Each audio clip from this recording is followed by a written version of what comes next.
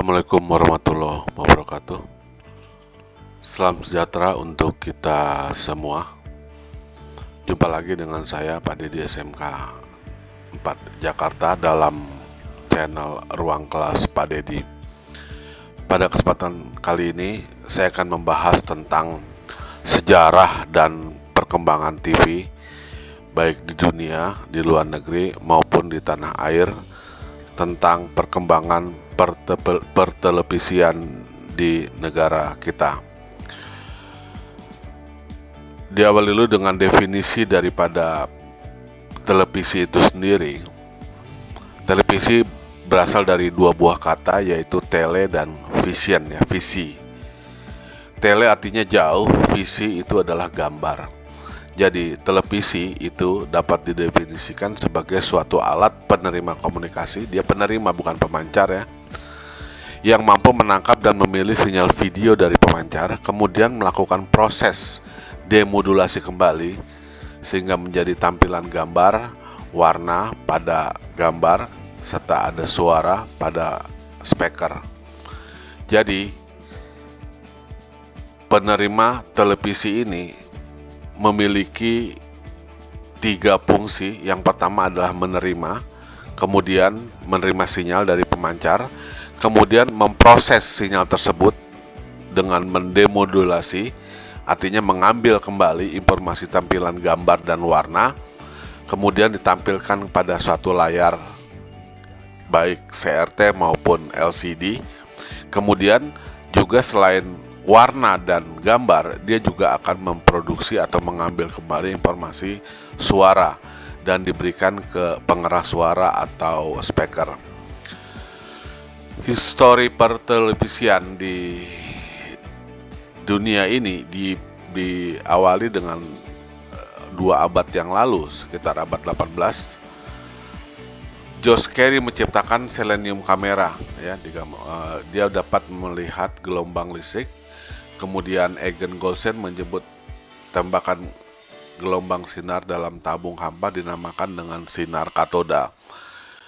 Diadakan penelitian-penelitian yang berhubungan dengan tabung kamera dulu yang pertama kemudian uh, beberapa tahun kemudian Paul Nipkow ya dari Jerman bisa mengirimkan gambar menggunakan kepingan logam yang disebut dengan teleskop elektronik. Resolusinya hanya tipis saja yaitu hanya 18 garis saja, kecil saja dan sangat kasar sekali. Disempurnakan oleh Frederick Reisner ya dari Austria dia menggunakan LCD. Jadi awalnya LCD sudah ditemukan pada abad 18 ya, menjadi bahan baku pembuatan LCD. Ya, dia merupakan dibuat dari kristal ya.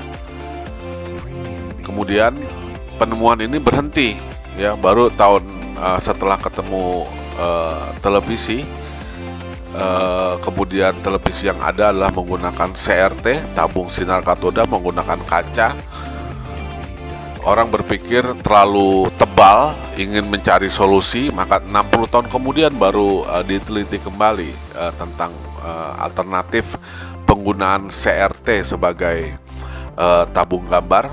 Ingin menginginkan perkembangan adalah TV yang tipis, baru dikembangkan 60 tahun kemudian.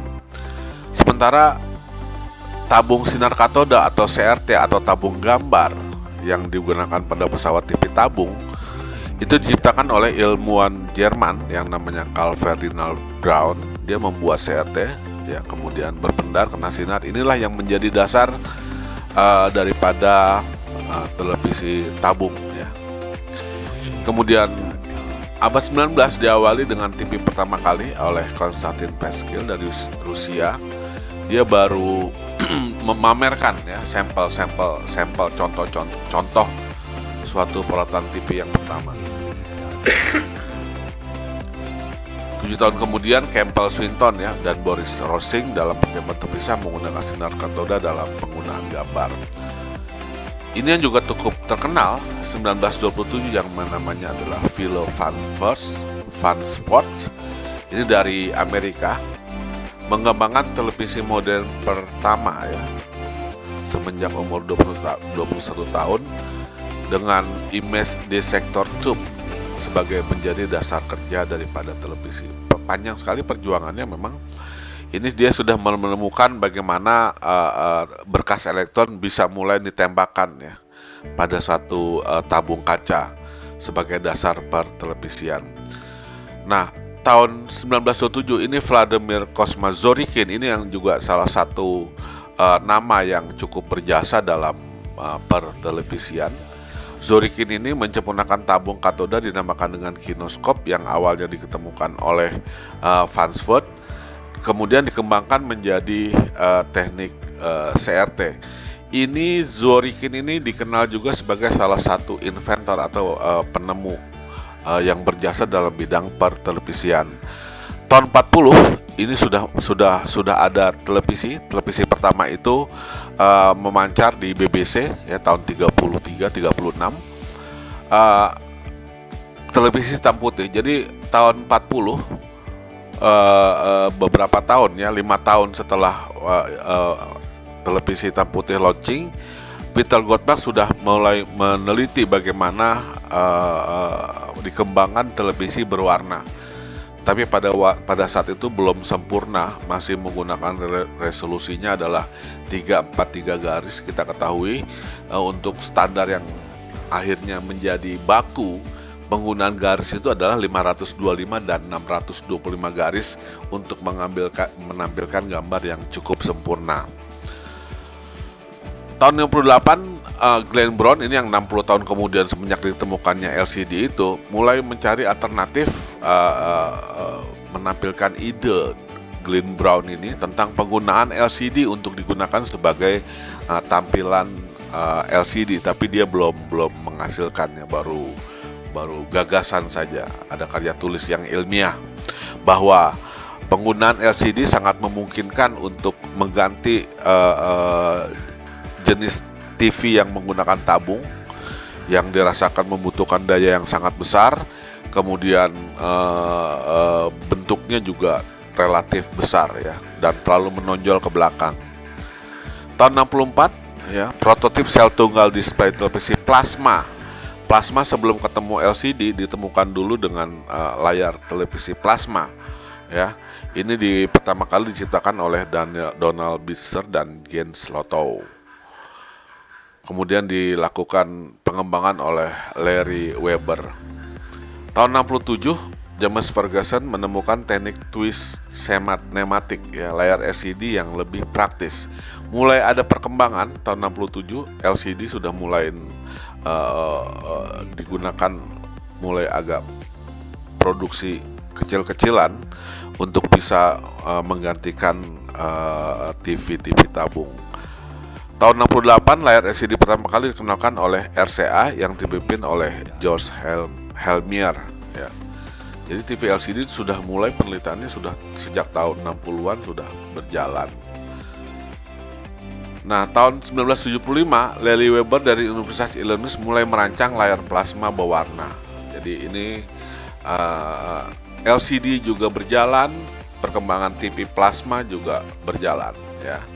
Bedanya plasma dengan LCD, kalau LCD itu liquid kristal, kalau ini plasma ini adalah uh, uh, dengan memasang blok fosfor berwarna ya. Jadi TV-nya bisa lebih kecil. Cuman da, uh, perkawinan antara TV tabung dengan TV LCD lah ya waktu itu. Dia masih menggunakan tabung-tabung uh, neon pada waktu itu yang disebut dengan televisi plasma.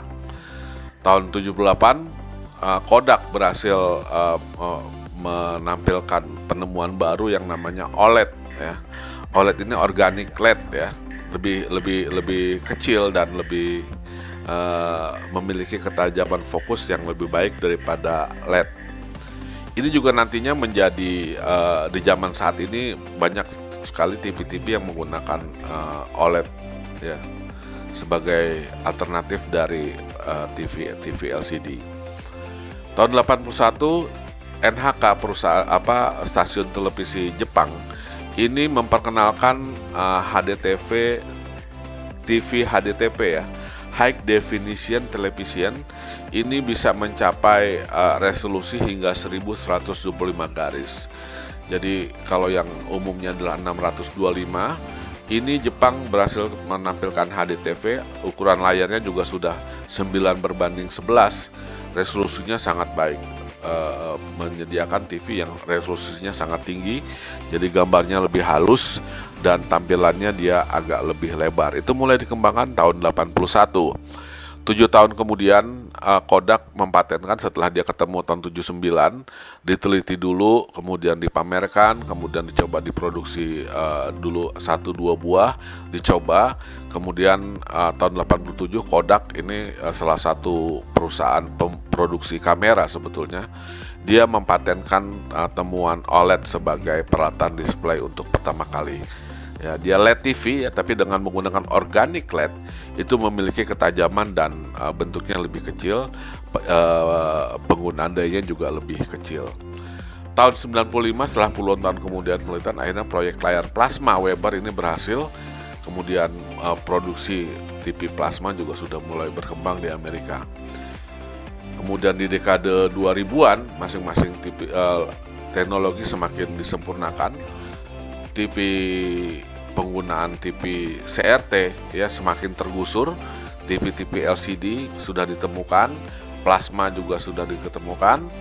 Ya pada saat ini sudah ada eh, televisi-televisi uh, yang bentuknya makin tipis ya dan juga makin berkembang juga dengan uh, perkembangan TV-TV uh, internet pada saat ini itu perkembangan uh, eh, TV di dunia. Jadi kalau kita bahas siapa penemu pesawat televisi, uh, penemu televisi banyak orang menuliskan bahwa Vladimir Zorikin lah yang uh, menemukan pesawat TV. Jadi awalnya bukan TV yang sempurna sebetulnya Zorikin ini masih dalam bentuk penemuan ikonoskopnya dulu kameranya tahun 23. Kemudian dia juga menggunakan CRT-nya jadi dia baik pemancar dan penerima itu eh, ditemukan oleh Vladimir Zorikin tahun 23 dan 29.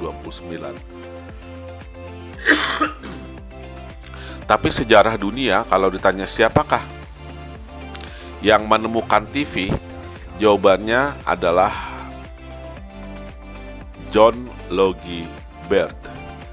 Ya, jadi kalau sejarah penemu tabung kamera dan tabung gambar adalah Vladimir, tapi mungkin belum belum sempurna atau masih terpisah-pisah pada waktu itu.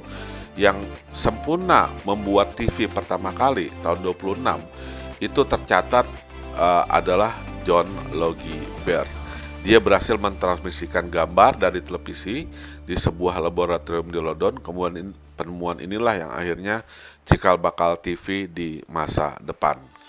Jadi penemu TV yang yang yang yang diakui adalah John Logie Baird. Kalau kita lihat perkembangan uh, TV ini Louis tahun 31 kita lihat TV-nya sangat kecil di tengah ini bodinya kayu jauh lebih besar karena penggunaan komponennya pun belum menggunakan IC dan transistor dia masih menggunakan tabung hampa ya kayak tabung trioda pentoda dan lain-lain jadi TV itu uh, bentuknya sangat kaku dan kecil, bodinya saja yang besar. Ini Louis tahun 31. Uh, eh, belum ada pemancar pada waktu itu ya, hanya dalam waktu dekat-dekat saja gitu, belum uh, secara komersial. Tahun 34 setelah Olimpiade Berlin ini uh, TV uh, telepon kan membuat uh, televisi hitam putih ya masih 180 garis. Dia TV-nya juga masih seperti besar lemari. TV-nya kecil ya ini tombol-tombolnya dan dia terbuat dari box kayu. Tahun 39 ini RCA Amerika bikin juga TV seperti ini. Ini 14an in ya. Bodinya dari kayu dan bisa dibayangkan gedenya tapi hanya besarnya saja karena komponen-komponennya pun masih besar. Kalau kita coba lihat TV zaman dulu tuh tabungnya sebesar ini TV-nya tapi komponennya tuh sampai penuh dan dia besar-besar ya. Ini bukan kondensator tapi ini adalah tabung-tabung ya. Sebelum ketemu transistor karena transistor itu sendiri baru ketemu tahun 48 ya jadi eh, TV-TV generasi di bawah tahun 40-an itu masih menggunakan komponen utamanya ya tabung-tabung hampa ya Ini di skema uh, bagian dalamnya. Jadi pada waktu itu ketika kalau orang nonton TV sebetulnya ini lihat ada satu keluarga nonton TV. Yang mana TV-nya? TV-nya tuh seperti ini. Tapi yang mana TV? TV-nya ini semua ya. Semua ini TV. Bukan TV-nya sebesar ini, ini baru layarnya. Jadi TV-nya sangat waktu itu besar sekali. Barulah setelah ketemu transistor tahun uh, 50-an ya 55 barulah ketemu transistor maka TV itu bisa berbentuk ya lebih ringkas dan lebih kecil. Bagaimana perkembangan uh, televisi di tanah air di Indonesia ya? Televisi pertama itu tahun 17 Agustus tahun 62. Ini adalah uh, gagasan dari Presiden Soekarno pada waktu itu sebagai Presiden Indonesia menggagas uh, me menggunakan apa ada politik mercusuar ya pada waktu itu. Jadi um, uh, Indonesia pada waktu itu bersedia untuk menjadi tuan rumah ASEAN Games yang keempat ya.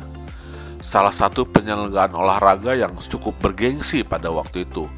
Tujuan Bung Karno adalah menginginkan memperkenalkan Indonesia ke level dunia. Karena pada waktu itu mungkin Indonesia belum banyak dikenal hanya negara yang entah berantah di mana jajahan Jepang ya tidak terdengar sama sekali apa keunggulannya apa kehebatan dari mana lokasinya. Nah Presiden Soekarno waktu itu mengambil gagasan menjadi tuan rumah Asian Games Asian Games yang keempat. Karena ini merupakan hajat besar pada waktu itu maka uh, Indonesia terutama Jakarta pun berbenah diri supaya kelihatan cantik supaya kelihatan indah karena ini pasti akan diliput oleh uh, dunia maka menjelang itu juga berbarengan dengan penyiaran TV ini uh, Indonesia juga uh, membangun menara Monas ya. Itu dibangun sebetulnya supaya memperkenalkan uh, Indonesia terutama Jakarta sebagai ibu kota uh, kepada dunia. Ini adalah Indonesia. Kalau di Prancis punya menara Eiffel pada waktu itu Bung Karno dengan sangat bangga dia punya monumen nasional ya. Walaupun emasnya katanya juga boleh uh, sumbangan dari uh, rakyat-rakyat Aceh pada waktu itu. Berbarengan itu juga uh, dibangun Gelora Senayan ya, Gor Senayan yang sekarang adalah uh, Gor Soekarno. Ini adalah tempat untuk tamu-tamu uh, negara tahun 62 itu uh, bertanding ya Nah di samping Senayan, di samping Senayan itu uh, di sini kelihatan menara ya. Nah ini adalah gedung TVRI, pemancar TV yang pertama kali di Indonesia. Ya, jadi mungkin kalau tidak diselenggarakan uh, ASEAN Game ini kita tidak pernah punya uh, stasiun TV dan tidak punya kota Jakarta yang indah ya, tidak punya gor-gor karena ini baru dibangun ini juga baru dibangun tahun 62 menjelang pertemu menjelang hajatan besar itu ASEAN Game kita juga perlu ini tapi pada waktu itu bangsa Indonesia rakyat Indonesia sendiri belum menonton mungkin siarannya. Ini hanya dibuat untuk konsumsi asing ya untuk untuk mengolah gambar dan lain-lain. Karena bangsa Indonesia tentu saja waktu itu masih uh, belum punya TV tahun 62 ya. Baru baru saja merdeka pemberontakan di sana sini ya. Kemudian ini adalah uh, Hotel Indonesia tempat di mana tamu-tamu negara itu menginap juga dibangun ya. Demikian juga dengan Bandara Kemayoran ya. Bandara Kemayoran dulu adalah uh, bandara sisa-sisa uh, Belanda. Kemudian tahun 62 karena mau ada tamu dia dikemas lagi di di dirapikan direnovasi supaya lebih bagus ya Nanti jadi dia tamu-tamu negara tadi uh, mendarat di Kemayoran, kemudian dia akan menginap di Hotel Indonesia. Sepanjang perjalanan akan melewati Monas, Semanggi, jalan kalau kita mau ke berlombanya di Stadion Utama Senayan dia akan melewati Semanggi. Ini salah satu patung tapi ini tidak dibangun 62 sepertinya. Tidak, ini hanya belakangan dibangun di daerah Pancoran, patung uh, Pancoran kalau ini mungkin yang patung ini juga uh, dibangun ya, salah satu uh, sudut uh, patung di daerah Kebon Sirih. Ini patung Merdeka yang ada di lapangan Banteng. Ini ada patung di daerah Kebayoran atau Senayan pada saat ini. Jadi pada saat itu 62 Indonesia betul-betul uh, berbenah mempercantik diri dengan membangun, uh, membangun pemancar stasiun pemancar TV untuk penyelenggaraan daripada Asian Games yang keempat. Gagasannya adalah karena adanya Bung Karno ya.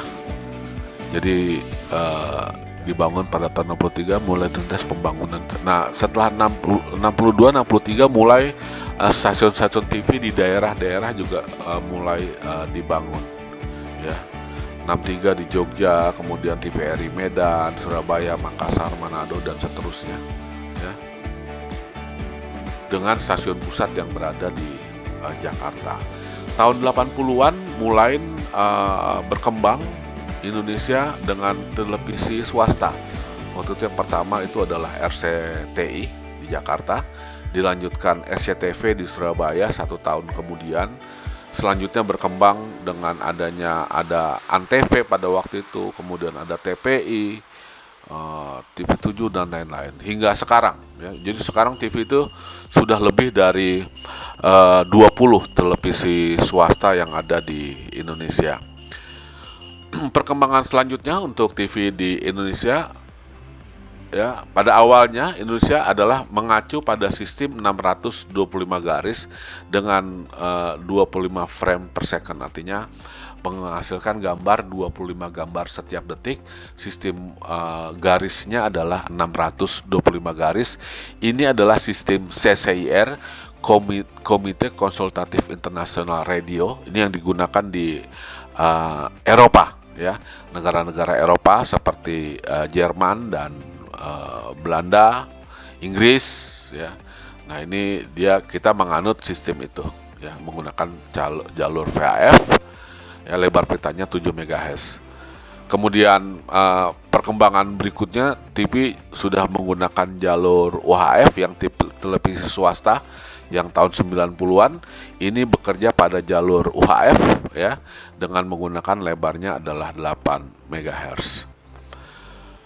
Penggunaan TV di Indonesia menggunakan sistem 625 garis.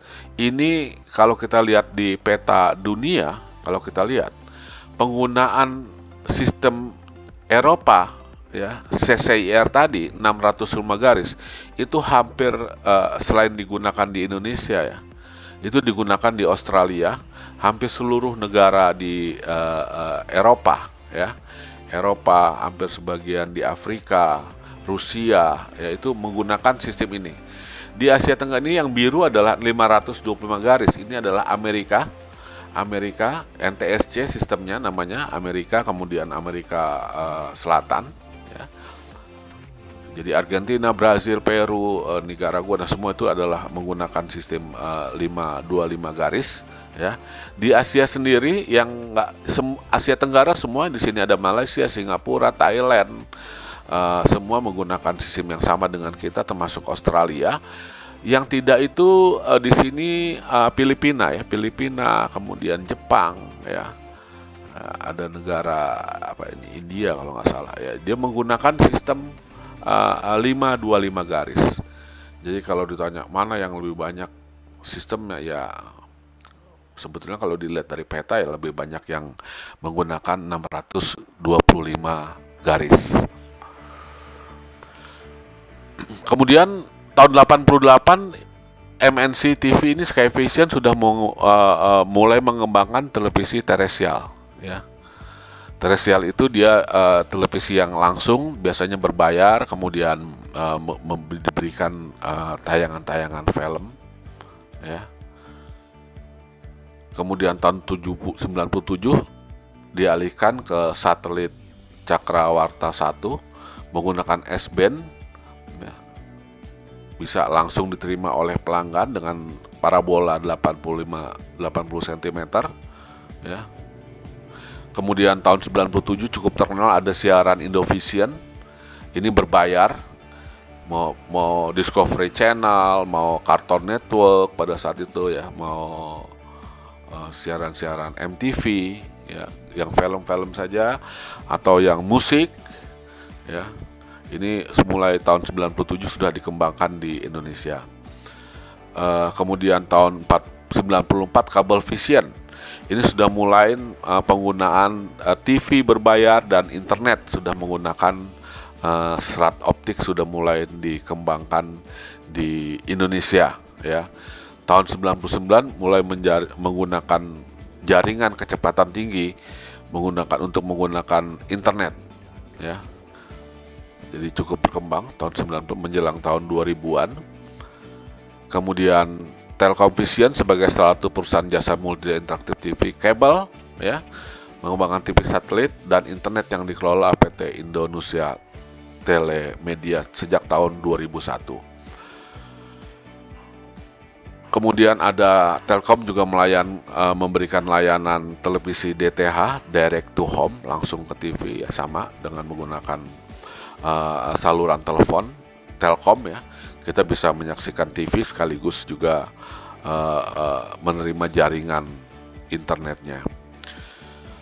Kemudian tahun 2006 semua uh, sudah mulai berkembang lagi televisi berbayar banyak sekali kompetitor-kompetitor yang ada. Selain Indovision, kemudian MNC juga ada uh, Mentari Multimedia ini dari perusahaan uh, penyedia HP ya, kartu HP ya. Dia punya uh, menjual juga siaran 20 channel TV nasional. Menggabungkan teknik DVB dan MMDS ini sudah menggunakan teknik televisi digital ya jadi TV digital sudah mulai berkembang 2006 sampai sekarang uh, mulai mulai uh, menguasai pasar walaupun belum semua. Jadi kita bisa menikmati siaran TV digital dengan kualitas gambar yang pasti jauh lebih bagus dan lebih jernih. Karena dengan menggunakan TV analog pada saat ini pasti saja siaran kita sudah ada 20 channel televisi swasta kalau kita masih menggunakan TV analog artinya dari antena langsung masuk ke TV biasanya tidak semua siaran itu terima dengan baik ya. Kadang-kadang SCTI-nya bagus Metro TV-nya jelek. Nah kita geser Metro TV-nya bagus mungkin Trans TV-nya itu nggak bagus. Tapi dengan penggunaan TV digital kita hanya tinggal menambahkan rangkaian set up box. Jadi kalau biasanya antena ini langsung masuk ke TV uh, siaran TV digital dapat dinikmati dengan menambah alat yang namanya step up box. Ya, ini udah bukan barang yang mahal lagi. Dengan 200 ribuan kita udah bisa dapat step up box ini. Jadi TV antena yang tadinya masuk ke eh, TV langsung, sekarang antenanya masuk ke step up box. Kemudian TV-nya tinggal pilih boleh masuk melalui audio video atau HDMI. Nanti uh, uh, setting gelombang mencari gelombangnya sudah kita tembakkan remote TV sudah tidak dipakai lagi. Remote TV hanya digunakan sebagai uh, untuk nyalain saja. Setelah TV-nya nyala maka untuk perubah-ubah channel dan lain-lain dioperasikan melalui step up box seperti ini. Ya, ini sedang berkembang pada saat ini. Uh, ke depannya akan makin banyak lagi mungkin untuk menerima. Karena siarannya pasti bagus. Dia tidak acara tidak ada acara bersemut-semut ya. Semua siaran pasti bagus hanya persoalannya dalam satu step up box ini uh, uh, bervariasi ya. Ada yang 21 channel, ada yang ada yang 30 channel dan lain-lain. Ya, tinggal harga step up boxnya aja tinggal pilihannya. Jadi pada saat ini sudah berkembang TV itu perkembangan TV dari awal adalah TV menggunakan tabung gambar yang berbentuk tebal belakangan sudah berkembang TV yang menggunakan sistem plasma sudah agak tipis ya. Tapi lebih tipis lagi adalah TV LCD ya. Kemudian ada TV LED TV ya. Dan yang terakhir ini perkembangan yang paling banyak adalah penggunaan TV LCD dan LED TV nanti di belakang uh, kita bahas uh, uh, bagaimana perkembangan tabung gambar ini kemudian apa perbedaannya kemudian mana yang memiliki kualitas yang paling atau lebih baik uh, ini ada TV untuk untuk menikmati TV digital di TV analog yang saya katakan tadi. Kita bisa menambah alat yang namanya setup set top box ya. Jadi kalau kita beli setup setup top box ini dapat satu kotak alatnya kemudian ada remote dan kabel penghubung. Uh, ini kabel hubung RCA ya dari AV kalau kalau di TV itu masuknya melalui saluran AV kalau ini ada TV saluran ya, kabel HDMI yang kualitasnya jauh lebih bagus ya. Nah, kalau mau lebih bagus pakai HDMI tentunya TV-nya harus punya fasilitas konektor HDMI dilengkapi juga dengan batu baterai buat remote control. Jadi kalau TV udah dipasangin set top box ini tidak perlu lagi pakai remote untuk TV-nya tapi langsung uh, dikontrol melalui uh, set top box ini. Atau disebut dengan DVB set top box DVB T2 ya yang berlaku di Indonesia. Itu barangkali sejarah perkembangan televisi di Indonesia. Sekian uh, materi dari saya. Terima kasih atas segala perhatian. Akhir kalam saya mengucapkan Assalamualaikum warahmatullahi wabarakatuh.